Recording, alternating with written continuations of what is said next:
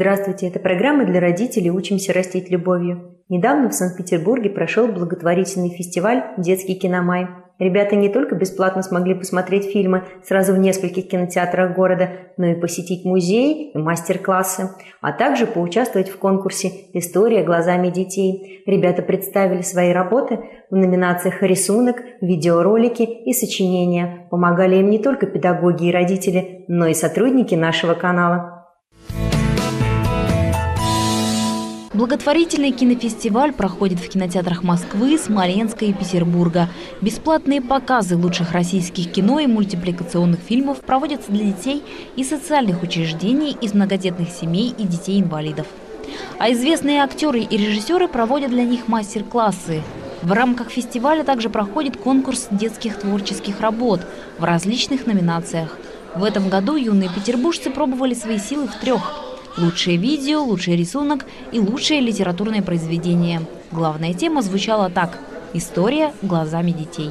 Мы делаем специальную программу для детей из детских социальных учреждений.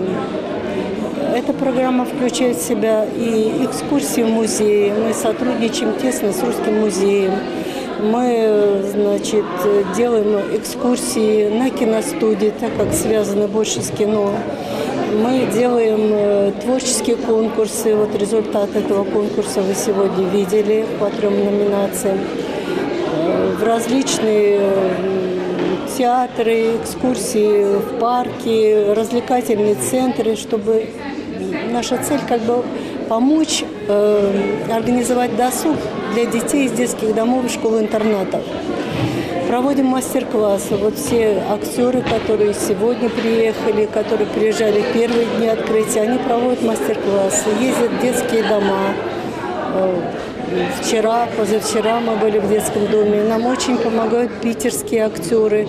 Э, мы очень благодарны, которые с нами уже третий год э, сотрудничают актерам.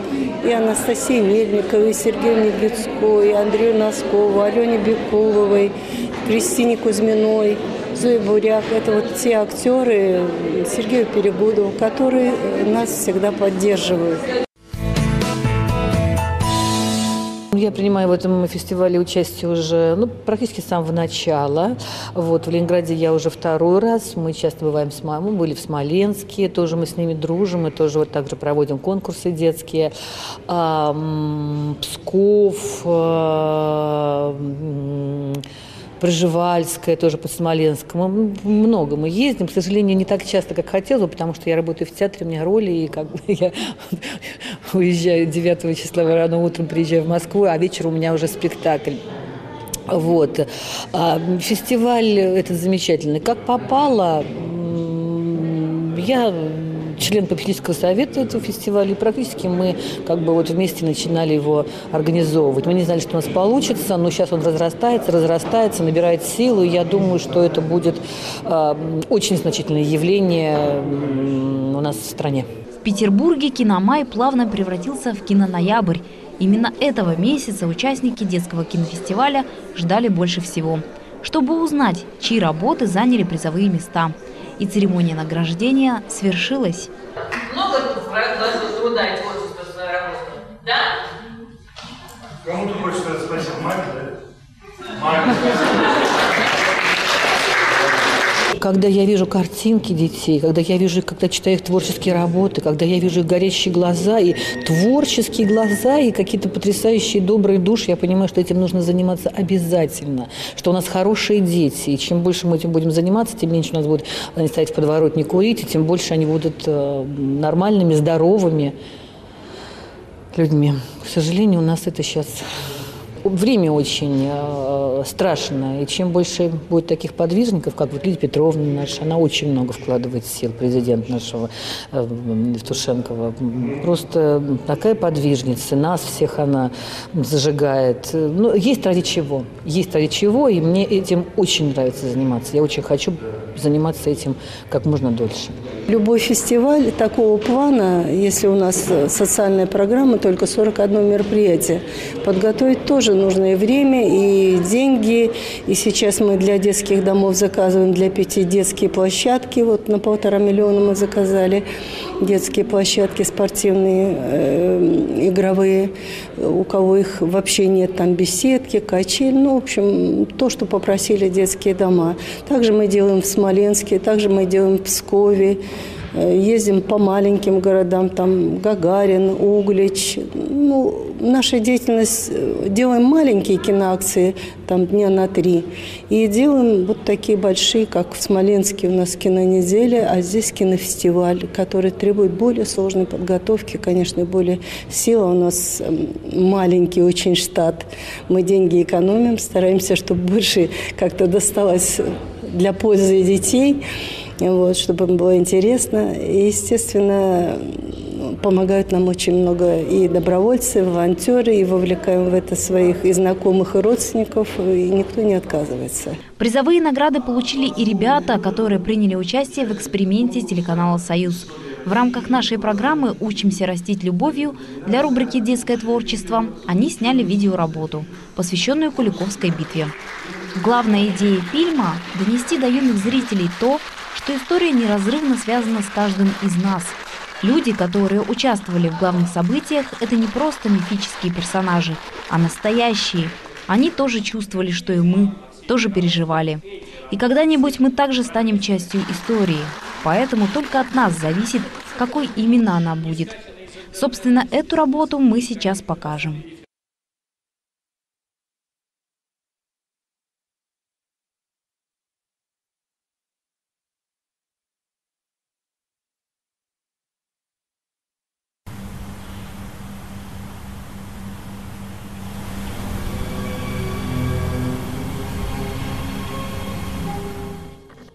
Совсем скоро численность противника варваров, ордынцев, превосходит в три раза. Нам не устоять. Страх пред многовековой тиранией иногда сильнее мужества. Но если будет благословение от отца Сергия, значит, нечего страшиться, будет нам победа.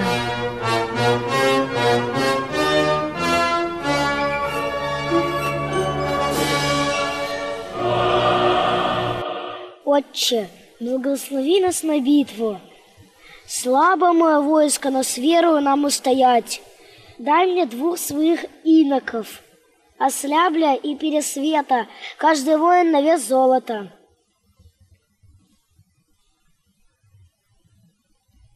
Великий князь, тебе дано заботиться о славном нашем народе.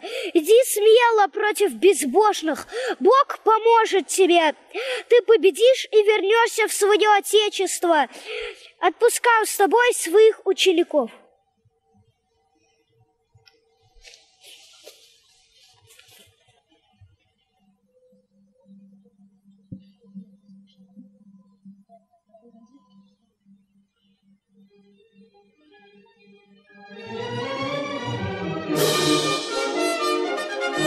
Братья, лучше честно смерть, чем злая жизнь. Лучше не выходить против врага, чем прийти и ничего не сделать. Перейдем сегодня все за Дон, и там положим свою голову. За православную веру братью нашу вперед!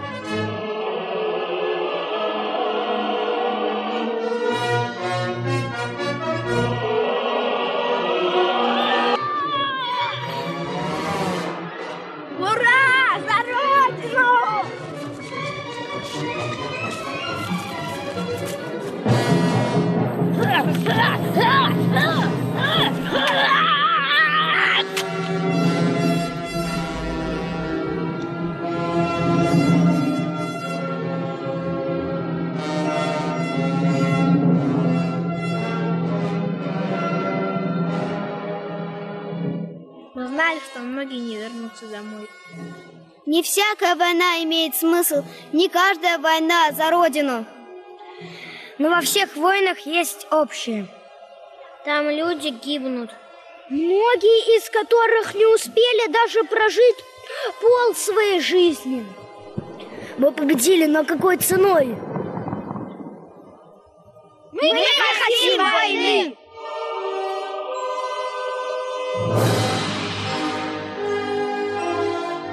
Мы не хотим войны!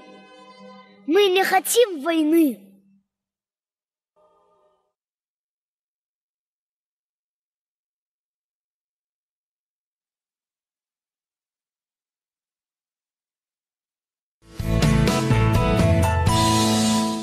Витязи на Руси. Думаете, страница древней истории? Не только. Есть они и сейчас. Где и как готовят современных витязей, узнаете из нашего следующего сюжета.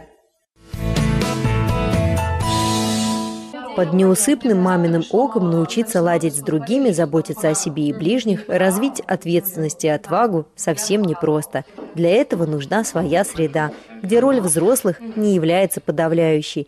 Петербурге, как и в нескольких других российских городах, такая среда царит в детской общественной организации «Витязи». Здесь наставники вырастают из воспитанников, старшие дети занимают младших. Эстафета главной идеи передается из уст в уста, а навыки – из рук в руки. Идея проста – веруй в Бога и люби Родину. Но как подкреплять эти громкие слова? Каким делом?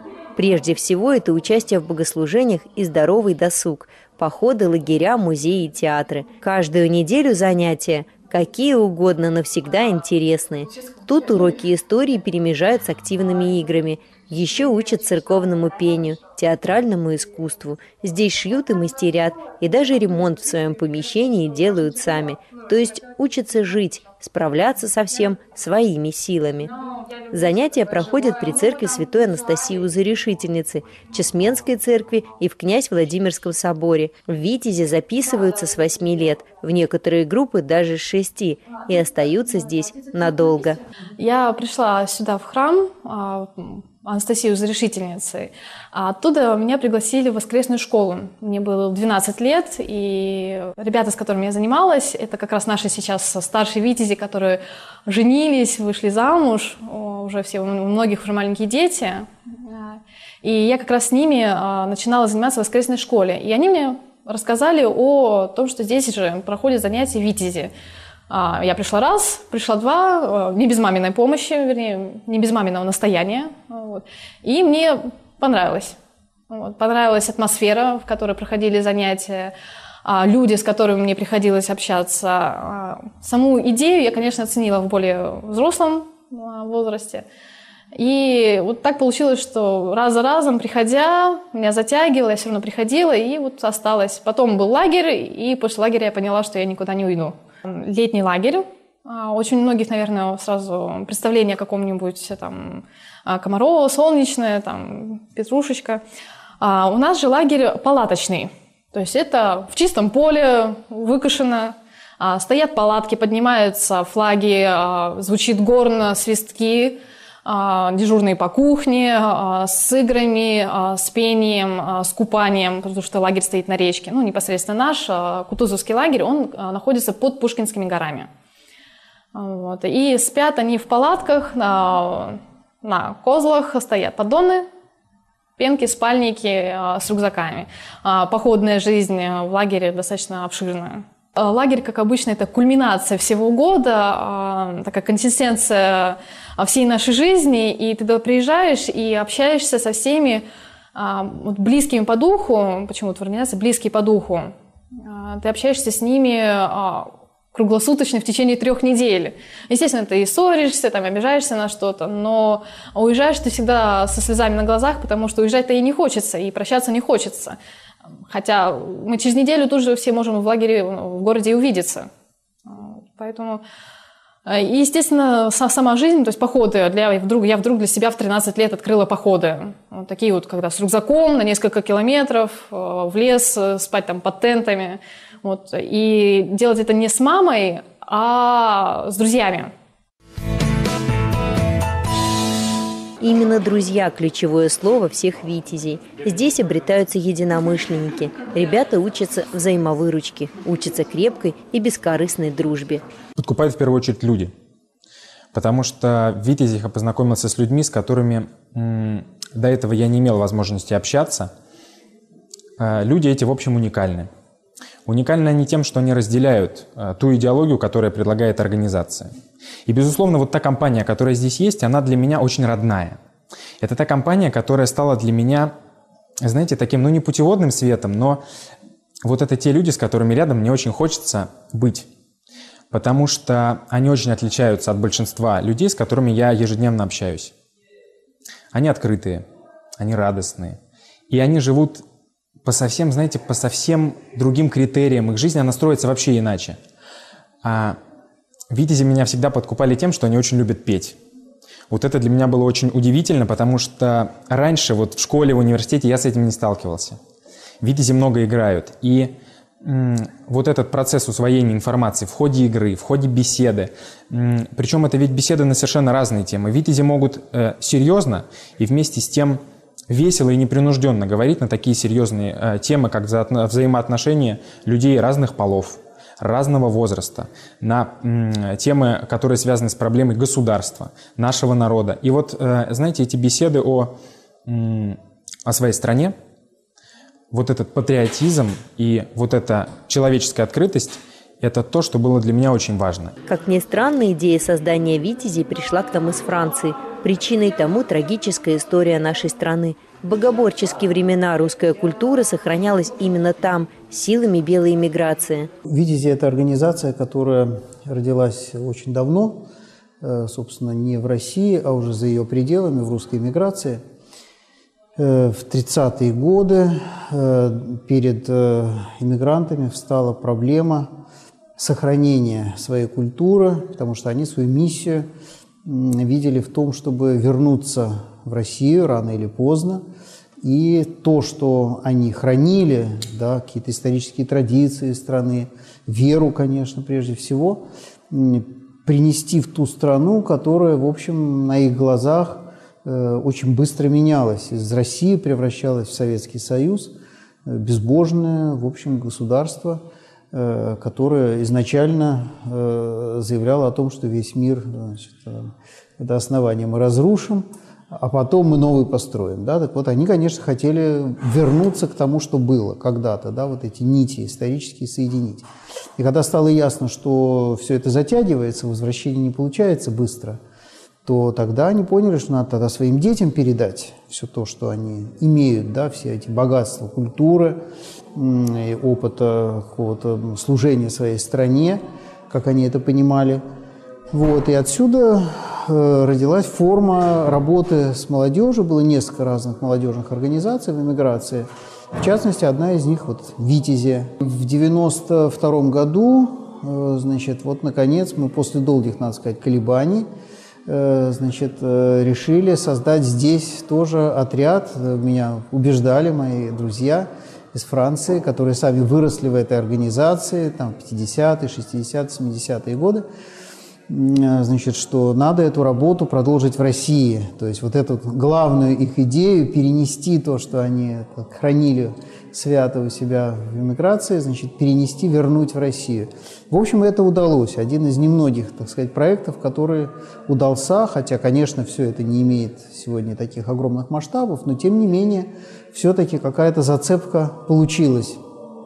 Вот. И э, в 92 году мы, собственно, создали первый отряд при братстве Святой Анастасии, узрешительницы – ну и уже э, с этого времени стали проводить лагеря. Поэтому вот э, в 2013 году у нас будет 20-й лагерь, это будет большое торжество. Вот, э, приедет много гостей из, там, из Франции, из Бельгии, из, даже, может, из Австралии.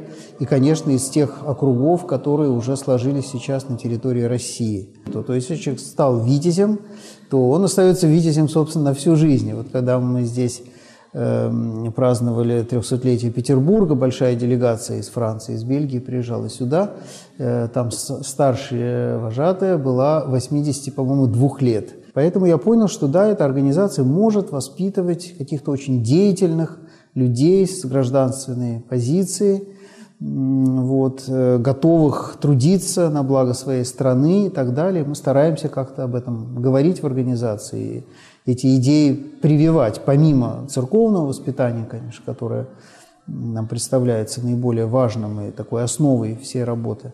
Второе – это, конечно, вот воспитание таких гражданственных добродетелей. Записать ребенка в Витязи, узнать, есть ли округ в вашем городе, если нет, то выяснить, как его открыть. Можно, пользуясь контактами на вашем экране.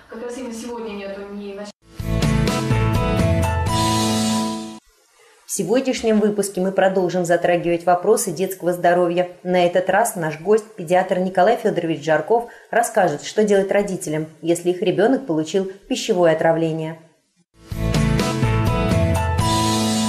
Николай Федорович, а как можно помочь ребенку в случае пищевого отравления? Ну, пищевое отравление э, мы э, слишком громко звучит, потому что пищевое отравление подразумевает когда ребенку дана изначально недоброкачественная пища, то есть испорченные какие-то продукты, прокисший суп, э, свернувшееся несвежее молоко и так далее. Но такого в принципе быть не должно. Обычно у детей бывает э, просто так называемое несварение желудка, то есть какая-то реакция на э, непривычную для него пищу.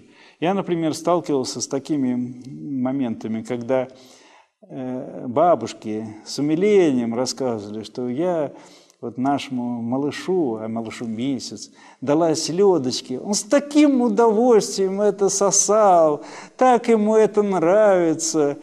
Но это же э, у ребенка самый основной рефлекс – это рефлекс сосательный. Если он не будет сосать, он не будет получать пищу, и он, в конце концов, это приведет к очень плачевным результатам. Поэтому самый мощный рефлекс – это сосательный. Даже если ребенку можно сунуть э, палец, он будет сосать ваш палец. То есть э, ему все равно. Это самый основной рефлекс. За счет этого он и живет. Поэтому ребенок должен получать пищу не со стола, не то, что привычно нам – взрослым, а ту, что он должен получать. А сейчас, благодаря наличию такого большого количества литературы, такого изобилия в магазинах, кормить ребенка можно полноценно, разнообразно, вкусно и, главное, полезно. Если э, он получил что-то не по возрасту или избыточном количестве, у него может начаться рвота – Рвотой, опять-таки, пугаться не надо. Благодаря рвоте организм освобождается от ненужного, либо, если это перекорм, или от несъедобного, если это что-то не по возрасту или, не дай бог, инфицированное. Поэтому э, рвоты бояться не надо. Другое дело, что если рвота начинается ночью, то нужно следить, чтобы ребенок очистился полностью – не лежал на спине, во время лежания на спине, особенно это касается грудных и новорожденных детей, когда во время рвоты он может захлебнуться рвотными массами.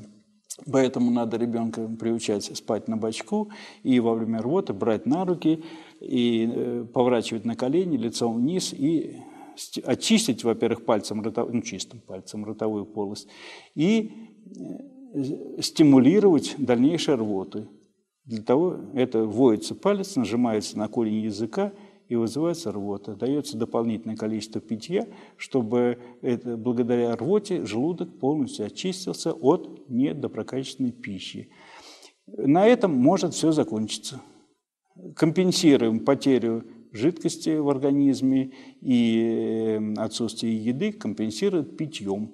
Опять-таки, питье должна быть не вода, потому что вода служит для промывания желудка, а должны быть компоты. А компоты – это, я подразумеваю, не свои э, консервированные, а компот из сухофруктов или из свежих фруктов, то есть из яблок и груш, сваренный компот или из сухофруктов. Консервированные соки, магазинные соки при любой дисфункции желудочно-кишечного тракта не полезно. И не очень хороши домашние заготовленные консервы. Тоже не очень хороши, потому что не гарантировано, это же не промышленное производство, не гарантирована полная стерилизация. Вот. И чай, самый обычный чай. Вот. Это компенсируется. Если это инфицированная пища, то она пропадает в кишечник – и организм реагирует естественные реакции, это жидким стулом. То есть он выбрасывает из себя все ненужное. Бояться тоже этого не нужно. Нужно просто следить, чтобы ребенок был чистый после каждой дефекации, чтобы был на горшке и следить за характером стула. Всегда настораживает наличие посторонних примесей, большое количество слизи и наличие примеси крови. Это уже э, является поводом для вызова э, специализированной медицинской помощи.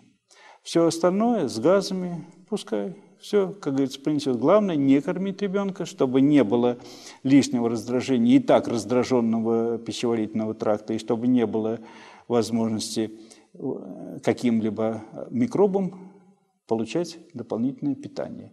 Если организм не справляется, если ни рвота, ни жидкий стул не полностью не избавились от инфекции, то инфекция всасывается в кровь и повышается температура. Это уже следующим этапом, это значит, что ребенок э, заразился каким-то инфекционным заболеванием то уже необходимо, опять-таки, анализы. А анализы важно сдать как можно раньше, до приема каких-либо лекарственных средств – и э, после этого решение вопроса о назначении какого-либо адекватного лечения. Если повышается высок... температура, с температурой бороться точно таким же способом, но никак не антибиотиками. Э, помогает, облегчает состояние, это прием активированного угля, смекты и э, полифипана.